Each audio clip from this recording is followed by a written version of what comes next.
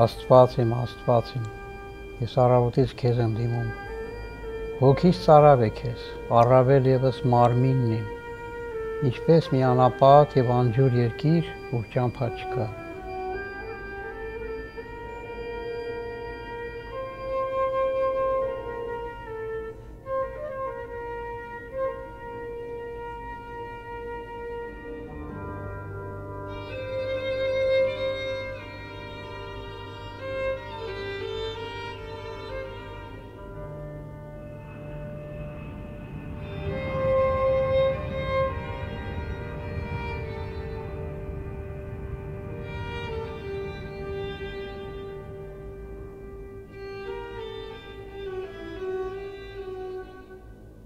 Կամոքն Աստծո 1999 թվականին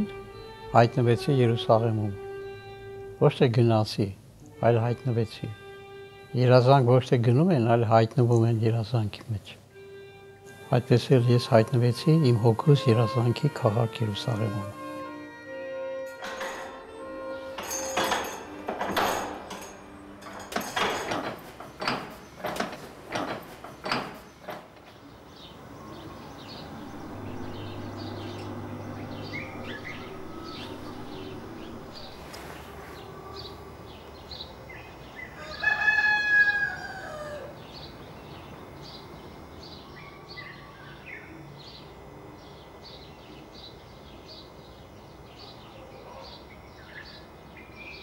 Դա ինձ համար զարմանալի վկայություն էր, որ մարդ իր աղոթքի պատասխանը կարող է այդպես հայտնի ձևով ստանալ, որտեղ մինչ այդ մոտ 7 տարի աղոթել էի, որ Աստված արժանացնի Երուսաղեմ գնալու, միակ տեղը, որ կուզենայի աշխարհի վայրը գնալ, դա հենց Երուսաղեմ Սուրբ քաղաքն էր։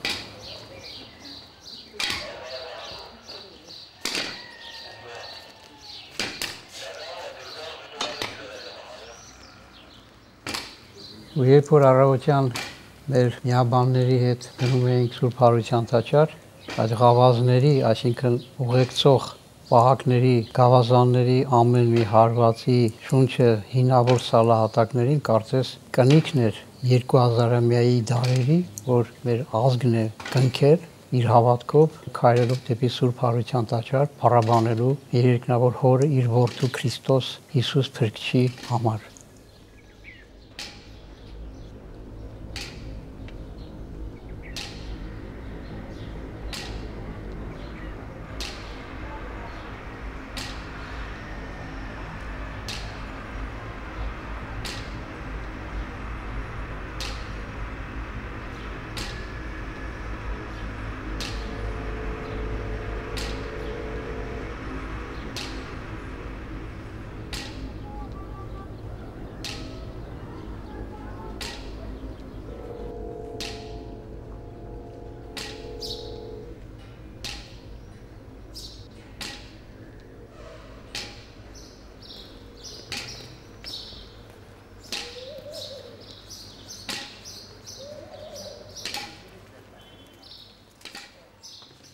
հայրը դեպի Սուրբ Գերեզման, դեպի հարություն տանող ճանապարհը բացող առաջի ազգն է։ Այ Երանի մեր պապերի այդ կենթանի հավատքը, զորությունը մենք էլ կրենք, որպեսզի ինչպես առաջինները մեր պապերը գնացին, այդպես էլ վերջինները մենք Շարասյան մեջ պատերազմական առաջիններն են կարևոր, նաև վերջիններն են, որոնք պահպանում են թիկունքը։ Սաղմոս 2-ն ասում է ինձ իմ սկզբնավորվելուց ճանաչեցիր, երբ որ ես մացվում էի, այսինքն Աստված, զարմանալի Աստված է հենց ի սկզբնավորումից, որ մարդը պետք է մարտարարած դառնա, պատկերն ու նմանությունը կրի արարչի, ինքը հենց ստանում է ամեն բան սկզբից։ Մենք էլ այդ Սուրբ Հարության տաճարի ճիշտ Սուրբ Գերեզմանից կյանք ստացանք, որովհետև այդտեղ Հիսուսը հարություն առավ ապացուցելով, որ մահը իշխանություն չունի իր վրա, ովքեր Հիսուսի հետ են, Հիսուսի մեջ են, Հիսուսի խոսքի կենթանության մեջ են, իրանց վրա էլ մահը իշխանություն չունի։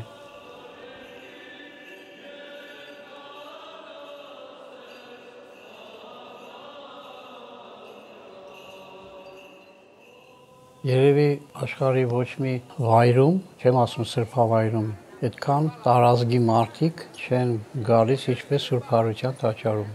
Եվ իսկապես այդտեղ կարելի է ազգերի տարբերությունները ակնառու տեսնել։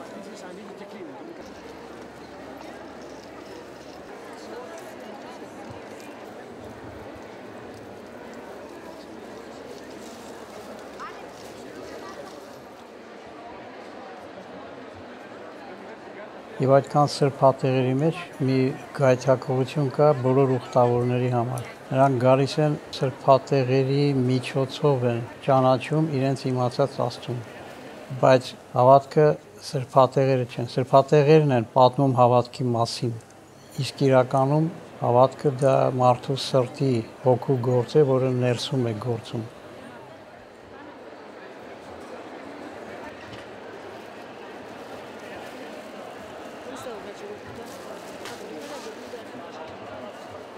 Երբեմն մարդիկ ասում են, հայ Աստծուն հավատում եմ։ Հա բա ոնց Աստծո ցավը տանեմ։ Բա ոնց Աստված կա, մատաղ եմ անում, մոմ եմ վառում, չգիտեմ, տարին քանի անգամ եկեղեցի եմ գնում։ Իսկ հավատում ես, որ մարդը, որ գերեզմանադրվում, մի օր պիտի հարություն առնի։ Շատեր ասում են, այդ չեղավ արդեն։ Այդ մեկը չէ, ոնց կարա մարդը, մեռած մարդը հարություն առնի ոնց կարա փոշի հող դարձած, չգիտեմ, մեկը հարություն առնի։ Այդ մեկը չեղավ։ Այս ես կոչվում է փուչ հավատք։ Կարող է դու մի մեշոկ պոպոկ ունենաս, ջարդես, ջարդես, սա մեջը փուչ լինի։ Դու ուրախ ես, կարծես թե այդքան պոպոկ ունես, բայց դու մի ասա, բոլորը փուչ է։ Այդպես է մարդը կարող է իր ամբողջ կյանքում մատաղներ անի, ման վառի, չգիտեմ ինչեր անի, ինչ գիտի անի, բայց երբ որ գա ժամանակը, որ պետք է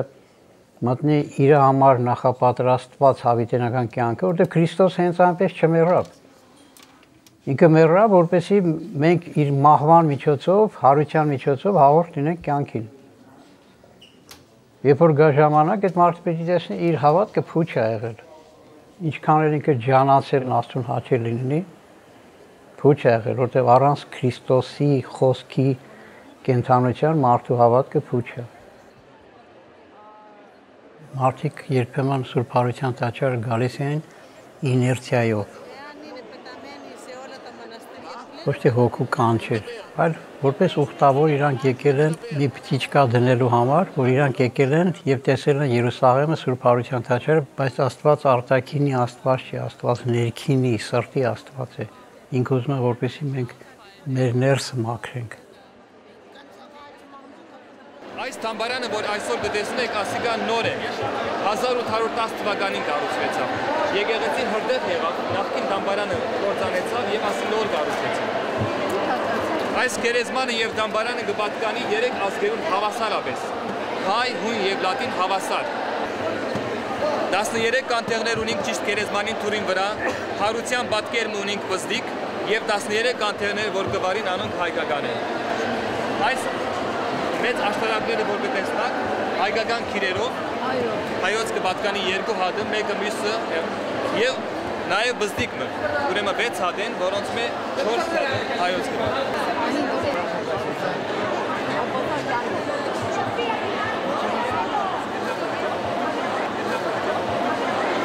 գսեմ աս խպտիները գլուխ դարի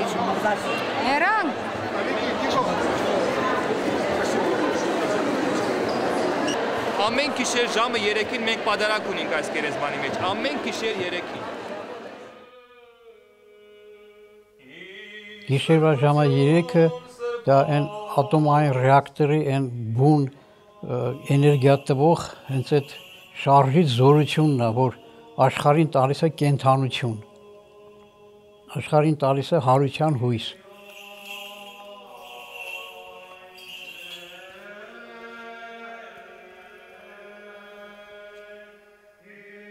Գիշեր այն պատարակը մի տեսակ հոգու համար մանրատոր հարության ժամն է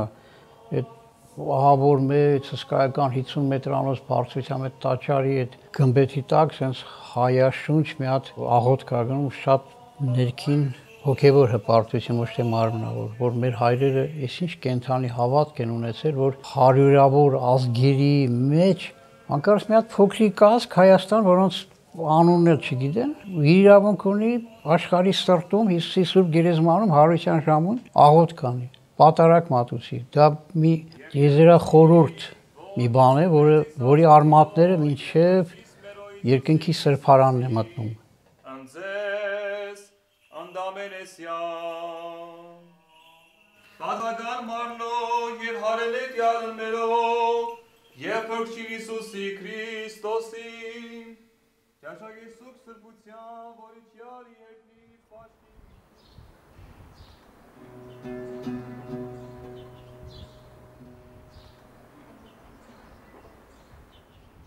Ես ագահաբար եմ վայելել Երուսաղեմը, բայց Եթե ինչ որ առիթով այնպես լինի, որ պետք է որ գնամ, ես կգնամ այնտեղի մարդկանց հետ հարաբերվելու համար, որոնց շատ մեծ սիրով հոգով կապված եմ ու շատերի ապրած կյանքը ինձ համար քրիստոնեական օրինակ են եղել։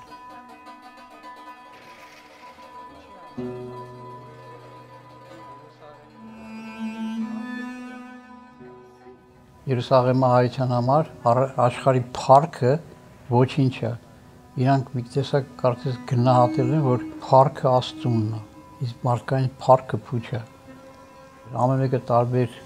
աշխարհի ցակերից են եկել, բայց իրանք յուրօրինակ համոհոտ ունեին ու հավաքական հայի բուրմունքներ զգում։ Շատերը վանքում չնայած աշխարհական էին, բայց վանականի նման էին ապրում։ Ոս, ոս։ Երուսաղեմ պետք է գիրուր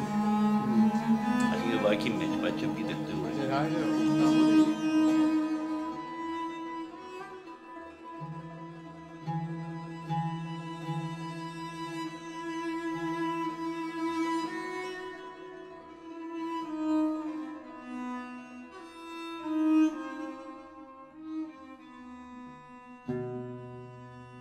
տատիկներ կային մի քանի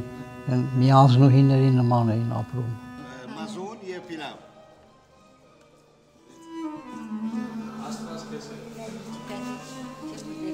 Եվ երբ որ խոսում էի իրենց հետ,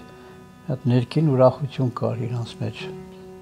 Ու իրանց հետ խոսելիս ես ինձ շատ ցածր ողորմելի մի հատ քրիստոնյա էի պատկերացնում իրենց համեմատ, որոնք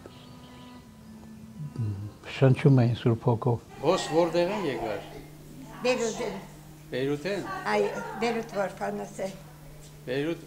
Որփանոս ինչպես եկար։ Չէ, Որփանոս էի ես։ Ոս պատերազմի ժամանակ դուք ցես Սուրբ Հակոբին ես տեսել, որտեղ ես տեսել։ Պատերազմի ադեն այո, Սուրբ Փանը վեր գվարգեինք Սուրբ Հակոբ։ Սուրբ Հակոբ եկեղեցին։ Այո, այո։ Բեռնադոնը գբարգեի։ Այո, այո։ Հոնդեսար Սուրբ Հակոբ։ Այո։ Ինչպես տեսա, հացադրե։ Փանը սեղանի վրա։ Չէ։ Սեղան ինչպես պատկեր ունի գիտես մեր Հա։ աշակերտներով հետ չէ անանք տեսաջանիկ ինչ տեսա անիկա բիդո խոսե Ինչ են գիծար Սուրբ Հակոբ։ ամա այդ պատկերը գա չես գիտես Բադգերին նման ցույց։ այ պատկեր հա Հետ խոսեցա։ ոչ չի խոսեցա ոչ Բա նայ սեղանը վրա ասկոմ աշակերտներ ասկոմ աշակերտներ ինքնալ իրենց կողն նստած է Թունալ չխոսեցա հետ։ ոչ ոչ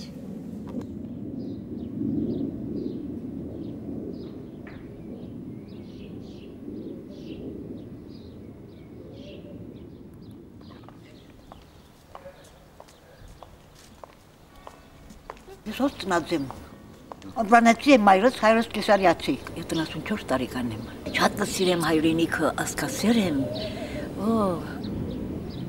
Ես մի բանան ապրած եմ 17 տարի։ Հոն աշխատած եմ։ Բոլոր կյանքս աշխատանքով անցել եմ 14 տարի եւ որ հիմա հանգչած եմ։ Ես աշխատած եմ Իսրայելի երկու փաբրիկաները։ Ինձի հավատարիմ լալուս եւ աշխատասեր նվերորդվին մեծ կմարմա, կացի Ֆրանսա երեք անգամ, քույրեր ունիմ հոն, քան եւ լիոն,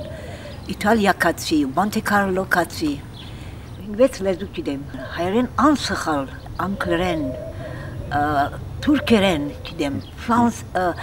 արաբերեն, հապչորս, հրյայեն պապագամ գասկնամ, ֆրանսերեն շատ պապագին միշտ գետակրկվին, բայց այրած տարի կսարած եմ։ Մեծ ասակ է, բայց ոնց որ մանուկ կլներ։ Այս տատիկի համար մի վկայություն կա, ինքը պատմեց, ասեց Ֆրանսիա գնում էի քրոջս մոտ, գնացքի մեջ էի ու այդ ժամանակ ձեր կերախոսներով խոսելը շատ թանկ էր, բայց ասում ուզում էի քրոջը զանգեի, որ այս գնացքի մեջ եմ գալիս եմ եւ այլն։ Ասում այնտեղ մի զույգ կար այդ կուպեում նստած։ Ասեցի, ինչ կլինի, թույլ տվեք քրոջը զանգեմ։ Իրանք զանգեցին, ասեցին մի խոսքով եւ այլն։ Ասում է, բա ես ինչով շնորհակալ լինեմ ձեզ, այդ մեծ լավություն արեցիք։ Դա ասեց,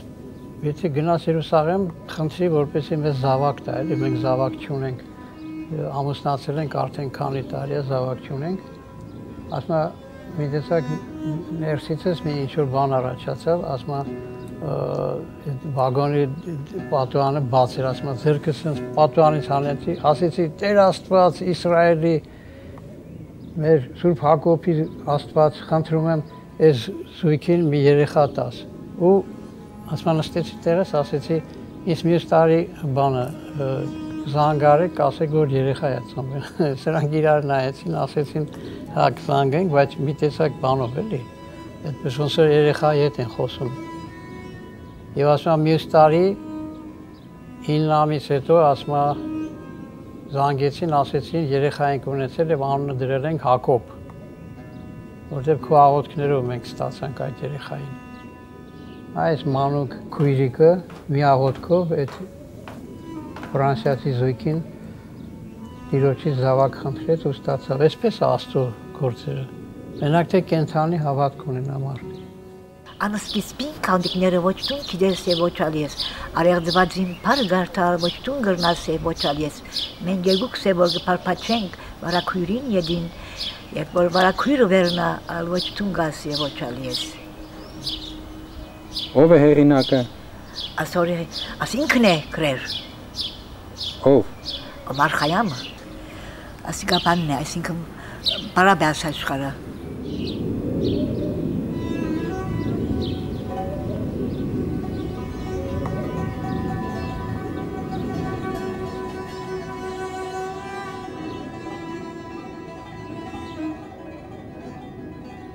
Աչք Հովանի լիցի իվերա ազգիս հայոց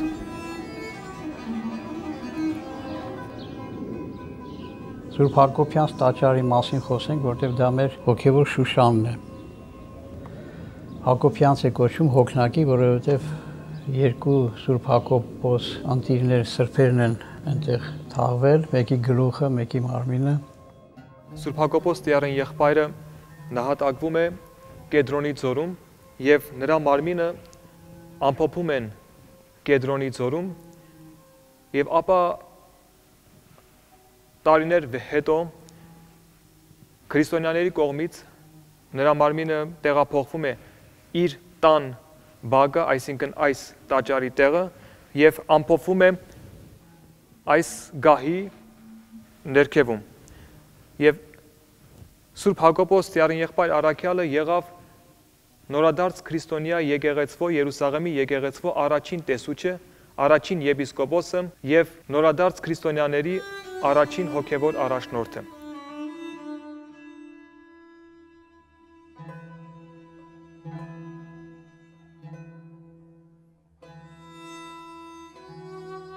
Ինձ համար մի զարմանալի է։ Հիսուս առաքյաներ ունեցավ, 12 առաքյաներ, 500 աշակերտներ բախի, հենց որ եկավ եկեղեցու հաստատման ժամանակ հանկարծ եպիսկոպոս դրեցին Սուրբ Հակոբին։ Ինչ այդ այդ մասին քիչ են խոսում։ Այդ ինչպես եղավ։ 12 առաքյալն ընտրեց, բայց Սուրբ Հակոբին դրեց։ Տիարան եղբորը։ Ո՞վ էր այդ անznավորությունը, որ այդքան ներքին վեհություն, մեծություն, հոգու խորություն ուներ, որ եղավ առաջին եպիսկոպոս։ Միջև հիմա քրիստոնեական աշխարհի համար գաղտնիք է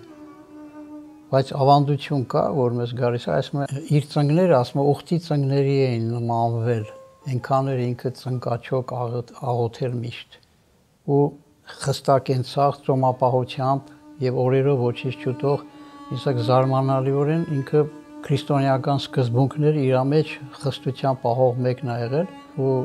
ինչպես Սուրբ Հովսեփ խնամակալի մասին մենք քիչ բան գիտենք, այդպես է Սուրբ Հակոբի մասին շատ քիչ բան գիտենք, բայց սրանք երկուսն էլ հետո երկնքում կիմանանք ինչ մեծություն են ունեցել աշխարհի եւ քրիստոնեական հավատքի մեջ։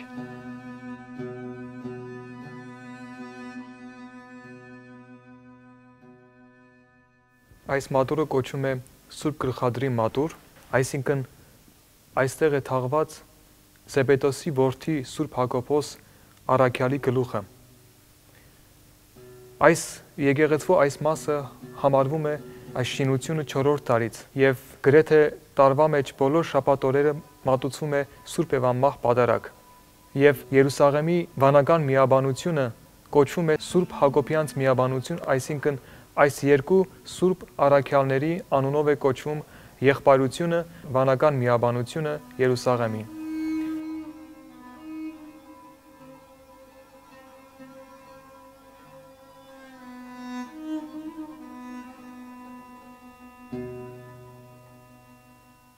Երբեմն մեր Երուսաղեմի մայրավանքը ես պատկերացրում քաղաք քաղաքի մեջ։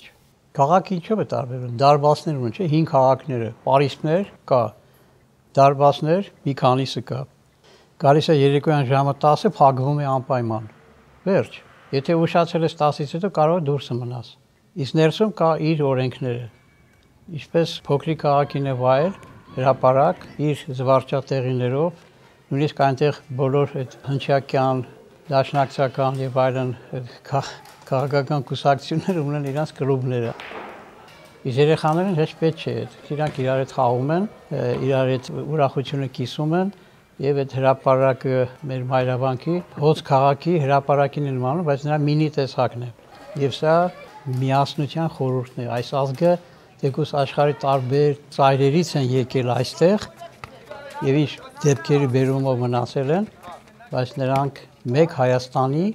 մի կտորն են, որոնք Սուրբ Երուսաղեմում պահպանում են հայոց այս հզոր արմատը։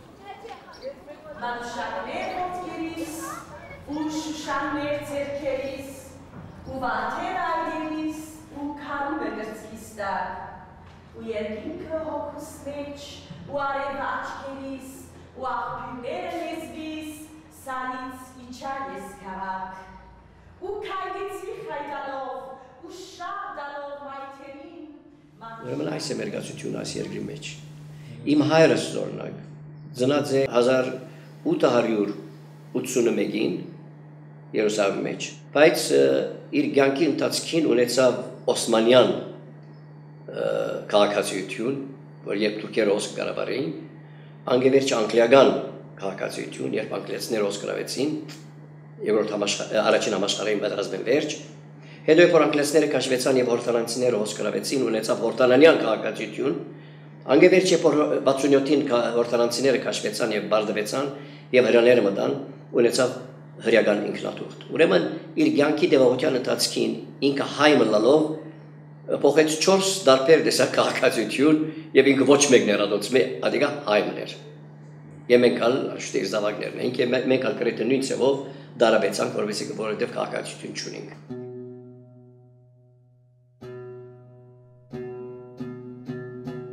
որ ժամանակ է եղել հայերի համար ավելի լավ։ Հայերը որ հոս են։ Հա, որ իշխանության ժամանակ է ավելի լավ եղել։ Գիտես, ինչպես է որ ասեն, I don't want to speak politics։ No, no politics։ Պարզապես ես կուզեմ իմանալ հայերը որ ազգի հետ են։ Իմացիր, մեկը ով ու կա կողչլար գսե Երանի տե անոնք որ անցան ավելի լավ էին, երես անանք միշտ անանգ է։ Բայց ես իմ գարդիկովս անկլիացիներուն ադեն ամենը լավ էր։ Մարտիկները սկսան դուբրոց էտան, զարգացած եղան, ճաշտոն ունեին, մանավանդ հայերը մանավանդ հայերը 3 կարորդ լավ բաշոները հայերը արեր էին։ Անգլիացիների ժամանակ։ Անգլիացիներուն ժամանակ, թուրքերուն ժամանակ գիտես ոչինչ, այդ նորեն իմ գեսուր բաբաս որ սիկեզի պաներ մեծ բաշոն ունի թուրքերուն հետ։ Դες թուրքերի անգլիացիներու ժամանակ հավատքը շատ էր։ Հիմա ինչպես որ գիտես, գամած գամած գերտագով։ Եկեղեցի գերտանք, որ հայերը իրենց եկեղեցին գարդեստի իրենց մայրաքաղաքն է։ Ինչու չունենք մայրաքաղաք։ Եկեղեցին մեր մայրաքաղաքն է, հասկացար։ Հայ գսկանք եկեղեցի մեջ։ Այո, ասմամատ է։ Ասի մամասի հակլ խայ։ Աստուես, աստեղ քանի տարեկան է իր աշելուսմը։ Գալի 12 12 տարեկան է ռոս։ հա։ Ես հայոց ծուբրոց կացած չեմ, ինչու հայոց ծուբրոցը ոչինչ էր, մի ամանգաբարդեց գար։ Եվ մեկ սրահ էր, ամեն տասարաները մեկ սրահի մեջ։ Հայրիկս անադենը սա պետք է աղջիկը զարկացած լա, օդար ծուբրոց դարավ մայրը բեդներունգով։ Եվ ալհոնդե ֆրանսերեն բան լեզու ավլի սորվեցա։ Հետո սկսանք անգլերեն, երբ որ ամուսնացա նորեն իմ ամուսինիս ընտանիքը անգլերեն գխոսին ինչու իրենց մայրի գոդար էր։ Հետո ուսուցիչ եղա, ոնդեղ անգլերեն գսորվեցունեի։ Հիմա հոս իբր թե օգտավոր է գերես։ Ոչ։ Այստեղ ես դասավանդում եմ երեխաներին, կրոնի դասպի։ Սուրբ Հակոբյանց մայրավանքին կից Փարիսպես դուրս գտնվում է մի փոքրիկ տարածք, որը կոչվում է հայոց վարժարան։ Սուրբ Հակոբյանց մայրավանքի վարժարանն է, որտեղ նախախկվում են, ապա թրծվում են ապագա վարդապետները։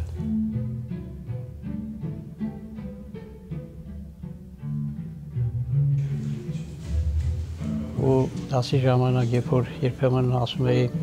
Դավթի պալատը կամ Դավթի տունը կամ Սողոմոնի տաճար եւ այլն, ճիշտ դասասենյակից պատմանից դուրս ը, երևում էր այն մի մասի, ինչի մասին, որ մենք անցնում ենք Աստվածաշնչից ու ինչի մասին կարդացել ենք, իրականում հենց կարելի է ցույց տալ երեխաներին հենց պատվանից դուրս կամ մի քանի քայլ են կողմ, ինչի մասին որ գրված է Սուրբ գրքում, դրա կենթանի վկաներն են շատ հետարքիր ներքին հոգեվիճակ է ապրում մարդը։ Ավելի վեր միայն երկինքն է։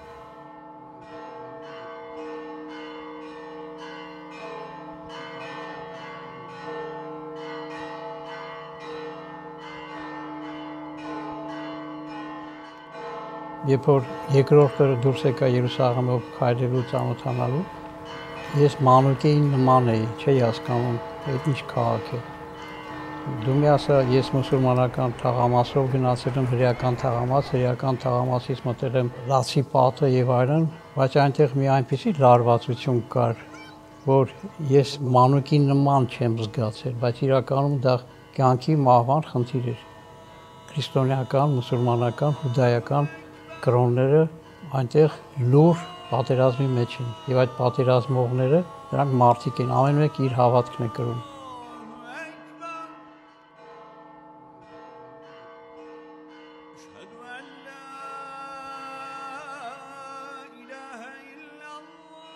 այնտեղ կան հունական քրիստոնյաներ, կաթոլիկ քրիստոնյաներ եւ բոլորը պահում են քրիստոնեական հավատքի իրենց բաժին ընկած տարածքը։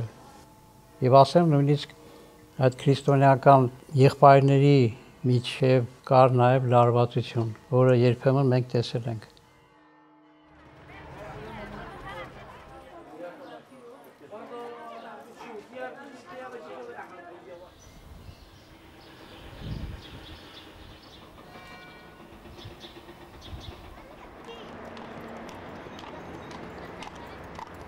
մի 10-20 րոպեի ընթացքում կարող ես մի թաղից մյուսը անցնել արդեն լրիվ բուրմոնքներից սկսած կարգու կանոնից վերջացրած եւ մարդկանց խայտաբղետությունը ընդմիջված բոլորը լրիվ կոնտրաստ իրար հակադրող թաղեր էին Իրական թաղամասը որ մտնում էիր կարգու կանոն, կոկլիկ, մաքուր, մի տեսակ sense երկրաչափական ճշտության պատրաստված ու բակերի ներսում էր փոքրիկ sense այգեստանների նման sense վարդեր եւ այլն շատ դուրս գալիս էր որ մտնում էի շատ մեծ ճաշակ կար շատ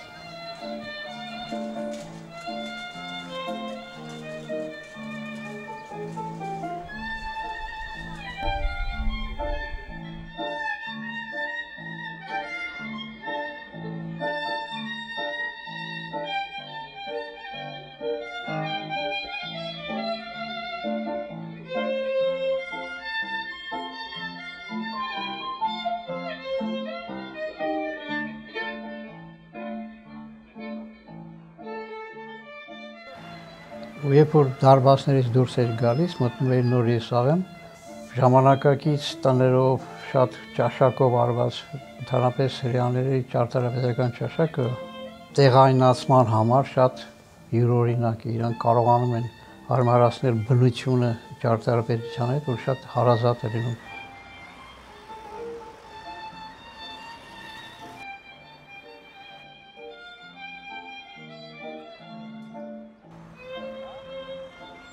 70 թվականի որ Տիտոս կայսրը կործանեց Երուսաղեմը եւ Տիրոջ խոսքը Հիսուսի խոսքը կատարվեց,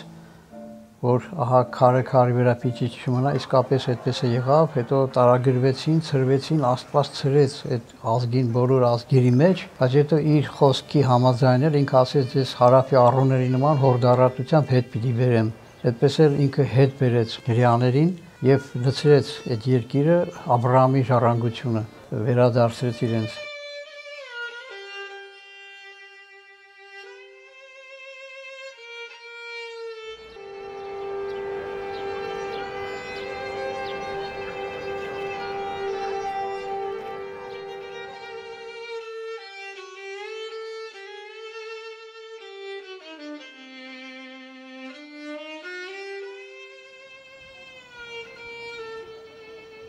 Հիշում եմ, որ երկրորդ օրն էր, որ գնացի Լացի պատի մոտ ու գիտեմ, որ Սողոմոնի ժամանակներից է եւ այդ պատը մնացել է հենց այդ որպես խորհուրդ, որ ամեն բան կանցնի, բայց այն Փարիսը, որը տաճարի համար է, Փարիսը մեր հավատն է, երբեք պիտի չկորսվի։ Սա մի անսասան ժայր վեմ է, որը երևի 4000 տարի է կա եւ կմնան ինչե որ կգա իր Տերը, ինչի համար որ սարքվել է։ Եվ բնական է որ այդ ժամանակ ես աղոթեի իմ սիրելիների համար եւ հայոց Երուսաղեմի անսասանության համար, որովհետեւ եթե Երուսաղեմը խաղաղ է, ուրեմն ամբողջ աշխարհն է խաղաղ, որովհետեւ Երուսաղեմը աշխարհի սիրտն է։ Ընդունեն, թե չընդունեն հավատան չի հավատան աշխարհի սիրտը որտեղ Աստված անձամբ հայտնվել քայլել եղել եւ հարություն արել դա աշխարհի սիրտն է, ինչպես մարդու սիրտը։ Եթե աշխատում է խաղաղ է մարդու սիրտը, ուրեմն մարդը խաղաղ է, եթե ոչ, ոչ։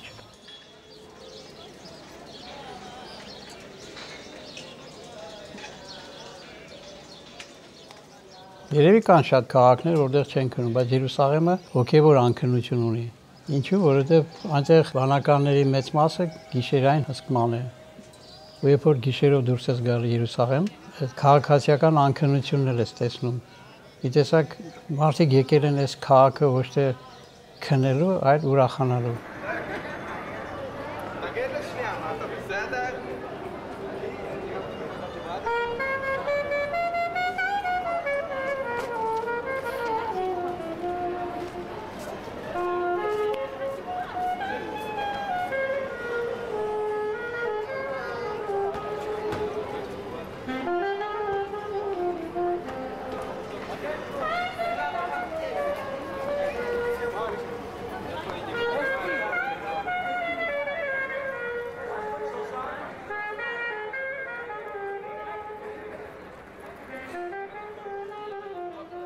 Երբ որ Երուսաղեմի ազատագրման 50-ամյակներ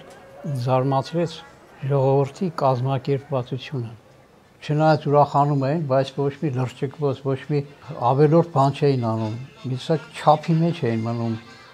լրջությամբ էին այդ ուրախությունը անցկացնում։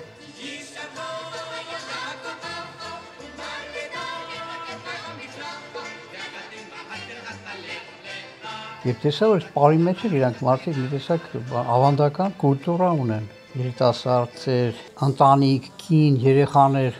այդ բջջային կառույցը պահել են։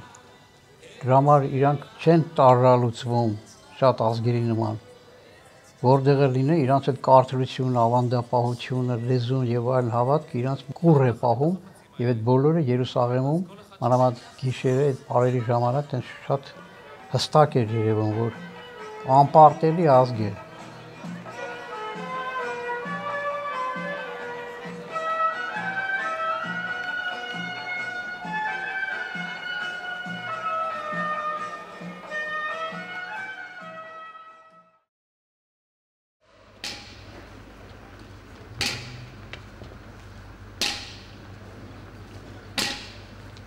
Սուրբ Հակոբյան վարժանանից դեպի Սուրբ Հարության տաճար անպայման պետք է մտնել շուկայի լաբիրինթոսով։ Շուկան նմանեցնում է մարդու որովայնին, որտեղ ասենք ինչ ասես մտնում է, բայց ամեն մեկը իր տեղն է գնում։ Մարդկային հոսք, մեկը մարմնավոր կերակուրի համար, բայց ոմանք էլ հոգևոր կերակուրի համար։ Ոմանք գնում են սրբատեղիներ, ոմանք խաչի ճանապարհն էին ընտրում իրենց մեջ վերհիշելու համար։ Այսպես ամեն մեկը այդ որովայնի մեջ ընտրում էր եւ գտնում էր իր հոգու կերակուրը։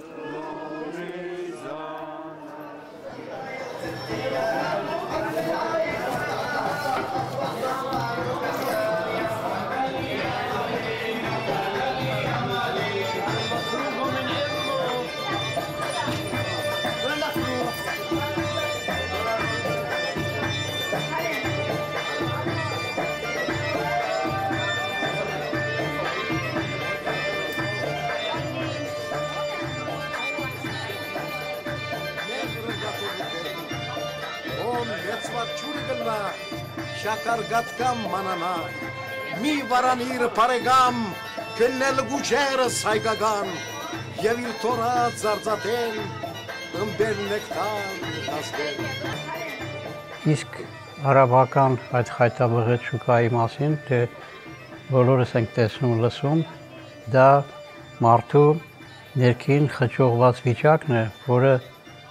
ինքն է թույլ տալիս աշխարհից ներս մտնել իր աչքերի զգայարանների միջոցով,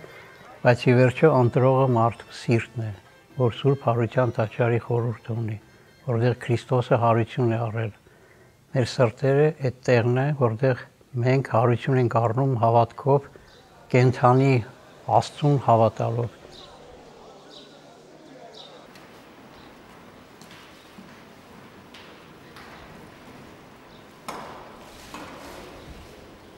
Դե շատերը գիտեն, որ քրիստոնեական եկեղեցին դժբախտաբար բաժանված է կաթոլիկ ուղափառ եւ հին արևելքի եկեղեցիներ, որոնք միասին կոչվում են առաքելական։ Ես այդպես քանի որ ուսումնասիրում էի աստիճանները, երբ որ բարձրանում էի Սուրբ Արության տաճար, տեսա այնտեղ մի ուրիշ կարծես քաղաք է։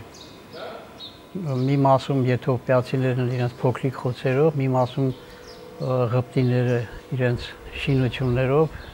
եւ ամեն մեկը տարբերում է իրենց հակուսներով, բայց հավատքն է մեկ կարևորը։ Եվ աղոթում են եւ այդ աղոթքի մեջ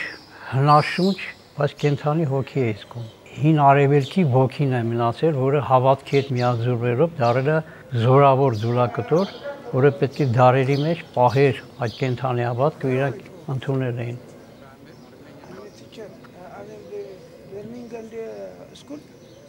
Ալանսա։ Աշխատում էի տարբերություն չդնել, բոլորը իմ եղբայրներն էին։ Բոլորի հետ ուզում էի ես սիրով արվել եւ քահանաներից իրենց, որոնք օցիալ են Տիրոջ հոգով, նրանց օրհնանքը ընդունել։ Սանտ Բիշոյ, Սանտ Մակարիոս, Ընդհանրապես մենք 72 վանք ենք ունեցել ու եկեղեցի ամբողջ Սուրբ Երկրում։ Նույնիսկ ամեն մի նախարարական հայոց նախարարական տուն ունեցել է իր հյուրանոցը, վանքը եւ իրենք իրենց նախարարական տների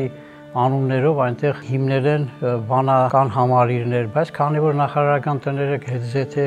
տկարացան, վանքերն էլ պակասեցին։ Դե բնական է որ սուրբ տեղը երբեք չէր կարող անտեր մնալ ու եթե հին սրբատեղիներում, եթե մարդիկ իրենց խղճերին հակառակ չգնան, այնտեղ հայ, հայրենա տարերով, հայրենա գրերով անպայման խճանկարներ կգտնեն, ինչպես եւ Տիցենիաց լեռան վրա գտնվող հիմիկվա ռուսական եկեղեցում հատակի վրա, երբ որ մենք նայենք ուշադիր, կտեսնենք հայերեն տարերով խճանկարներ կան եւ գեղեցիկ հին պատկերներ, որը միայն հարազատ է մեր հայոց ոչին։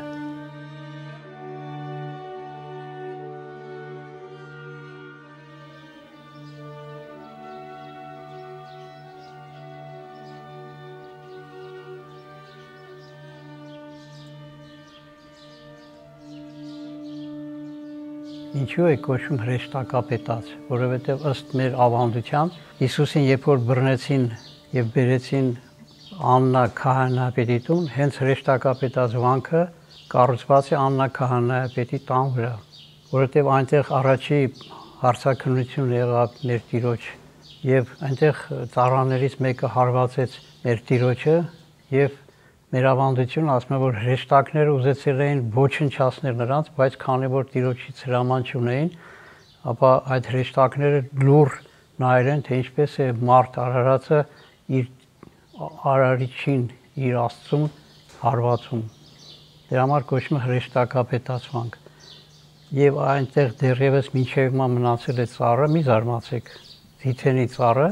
հզոր արմատներ ունի մեր ազգի նման։ Ինչքան էլ վերևում կտրես, արմատը այնքան կենթան է, անպայման ինքը շուղ է տալիս։ Այդ 2000 տարվա ծառը մինչև հիմա կա եւ այն ծառն է, որի բնին կապեցին Քրիստոսին, մինչև որ կտանեին մյուս քահանայապետի տուն։ Եվ շատ կանայք այնտեղ աղոթելով եւ այդ պտուղները ճաշակելով պտուղ են ունեցել, որ մինչև այդ իրանք ամուլ են եղել։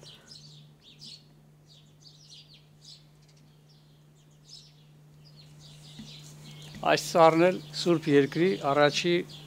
պտուղն է տալիս, որը կոչվում է նոր աշխարհ եւ մեջը զարմանալի մի քանի կորիզներ կա եւ համնել նման է Ծիրանի եւ Սալորի խառնուրդին։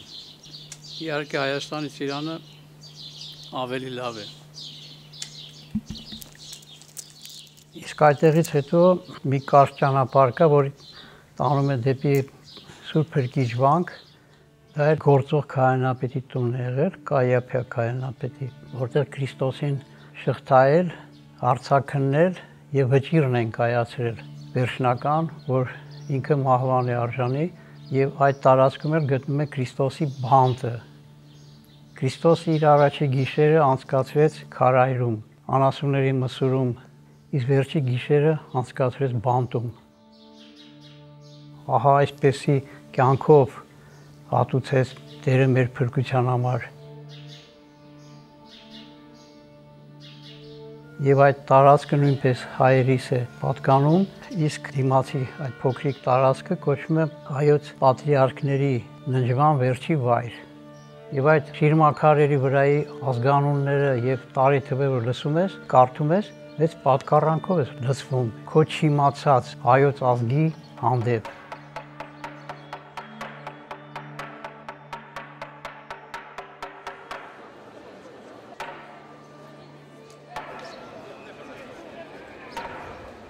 իհարկե բոլոր քրիստոնեական եկեղեցիների արարողության կիզակետը դա Սուրբ Սատիկն է, որ աշխարի բոլոր ցակերից քրիստոնյաներին ուխտավորներին հավաքում եւ բերում է այս Սուրբ քաղաքը եւ բնական է որ բոլորը կուզենան այդ օրը լինեն Սուրբ Հարության տաճարում եւ իրենք էլ զատկական ներքին ուրախություն ապրեն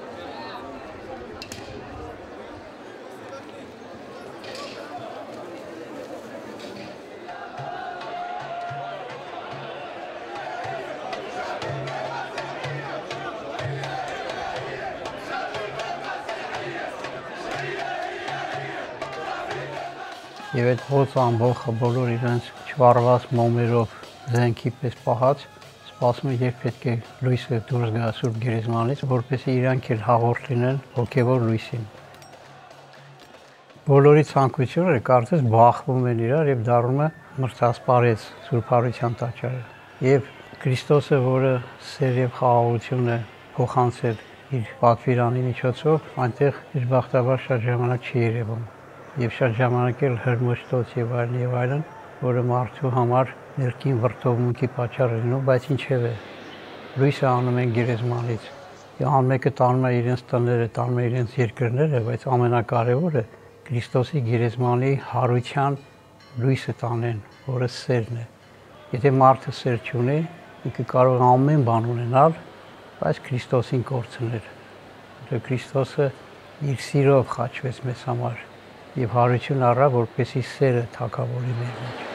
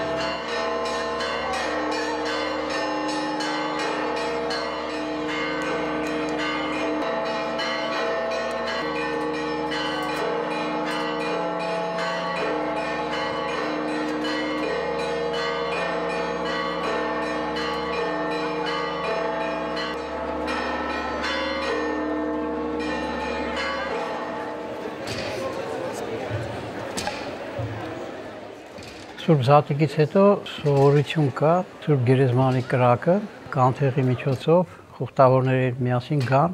եւ Սուրբ Հակոբյանց մայրավանքի հրապարակում անդաստան անելու։ Այդպես մի անգամ երբ որ վերադառնում ենք մեզ հետ նաեւ բողոքական եկեղեցու մի հավատացյալ կար, ինքը տեսավ այդ շքերթը գնում է, ասում է ուր են գնում, ասում եմ Սուրբ Հակոբյան ստաճար, ասեց ինչ եք անելու։ Ասեցի մենք այնտեղ պետք է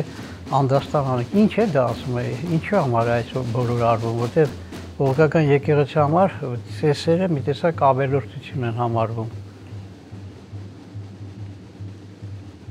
Ասեցի անդաստան նշանակում է աշխարհի 4 կողմերը ուղղվելով, խաչով, ավետարանով, աղոթքով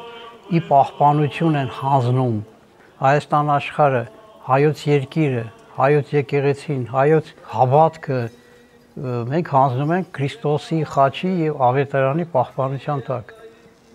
Երբ որ ես ողքականը լսեց այդ անդաստանի զորության մասին, ասեց լավ, հասկացա, իսկապես հզոր բան եք անում, եթե հանձնում եք աղոթքով Տիրոջ պահպանության այն խաչի եւ ավետարանի։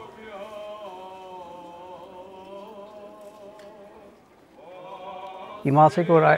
մենք այդ անդաստանի հաղորդների պահպանության տակ է որ մենք ապրում ենք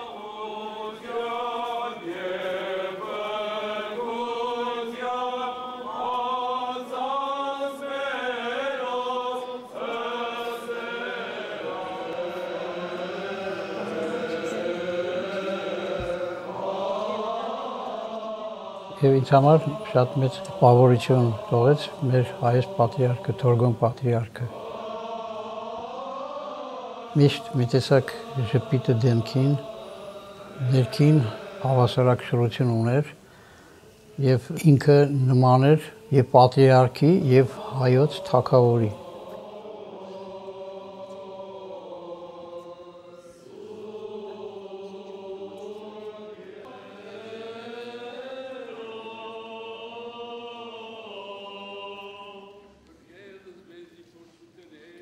երբ որ ուխտավորներ էին գալիս հատկականորեն ու մոտենում են իր աչի համբուրելու ինքը բոլորին այդ արվա այդ պատարակական օրհնանքներից բերում էր եւ մեկ-մեկ հատ բաժին էր անում որպես հատկական ամենաանտիր նվեր ոգևոր նվեր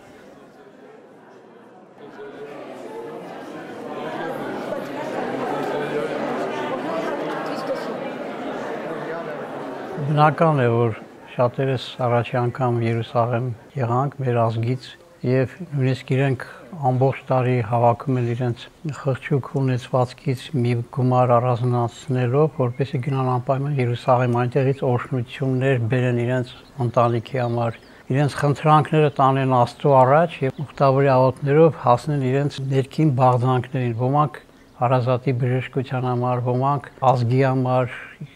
ամեն մեկը իր ուխտի կարևորությամբ է գնում այդ երկիր։ եւ մեր վարչապետները ուխտավորներին հայրաբար ծանոթացնում են մեր ազգի արմատների, եկեղեցիների, սրբատեղիների եւ ամենակարևորը այնտեղի սրբությունների հետ, որովհետեւ այդ սրբությունների միջոցով է, որ մեր ազգի ներքին արմատները դեռ կանգուն են։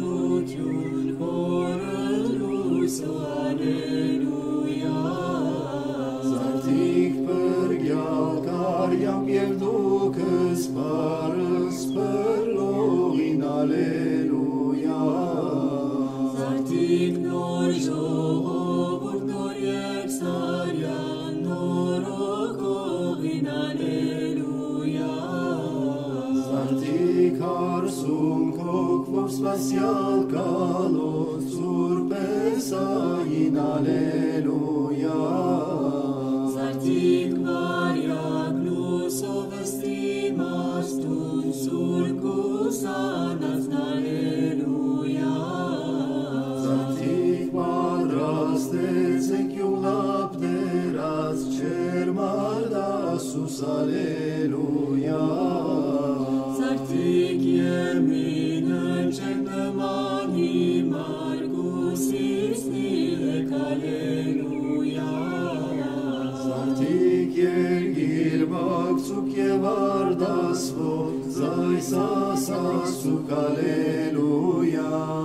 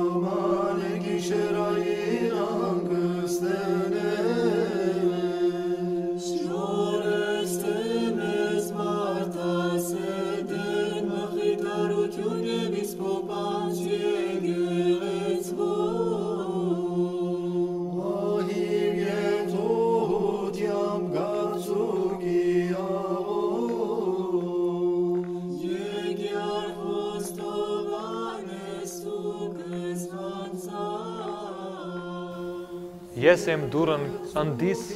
թե ոք մտանից է, կեցե։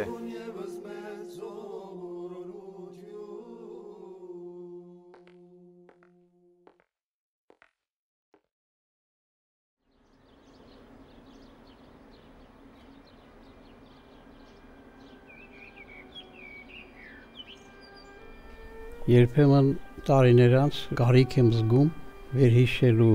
վերապրելու, վերանորոգելու Երուսաղեմյան այն անըմբռնելի, բայց շատ ցանկալի հոգին, շունչը այնտեղի հոգևոր դարարությունը, այնտեղի հոգևոր զորությունը ինչև հիմա ինձ կարծես կենթանություն են տալիս երկնային Երուսաղեմին նախապատրաստվելու համար։ Չէ՞ որ բոլորիս հոգու վերջնակետը երկնային Երուսաղեմն է, որ Տերն է խոստացել։ Եվ կուզենայի, որպեսի յուրաքանչյուր անձ ճանաչեր իր հարության արմատը, Քրիստոսի դատար գերեզմանը, որտեղ նրան հավատացողը նույնպես հարություն պիտի առնի։